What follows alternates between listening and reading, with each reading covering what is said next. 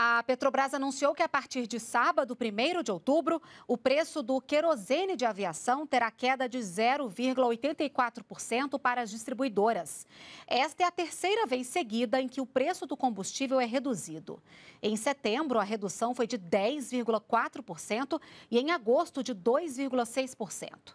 De acordo com a Petrobras, o preço do querosene de aviação busca equilíbrio com o mercado internacional e acompanha as variações do valor do produto e da taxa de câmbio.